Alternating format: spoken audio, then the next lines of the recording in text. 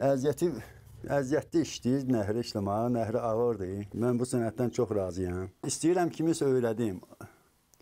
Ancaq hələlik alınmayıb.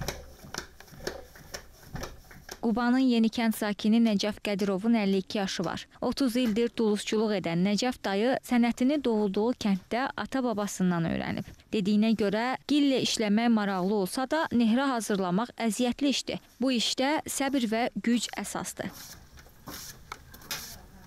Hal-hazırda işlədiyimiz nehrədir. Bu da iki hissədən ibarət olur. Birinci hissəni işləyib qoymuşam qırağa. Əlimdəki ikinci hissədir, alt hissəsi nehrəni. Bu birinci hissəni alıb onun üstünə qoyandan sonra tam bir nəhrə əmələ gələcək. Bildirdiyinə görə hazırda gildən hazırlanan əşyalara tələbat çox olsa da, nehrə alanların sayı azalıb. Bir nehrənin tam hazır olması üçün bir aydan çox vaxt lazım olur. Gilin nehrə forması alması 40 dəqiqə çəksə də, quruması bir ay vaxt alır. Daha sonra hazır olan nehrə 24 saat 1200-1300 dərəcədə bişirilir. Sunan qatığı nehriyə tökəndən sonra o biraz yırğalandı, orada nəsə hava əmələ gəlir. Əgər o orada göbək olmasa, göbək eləyər bizdə.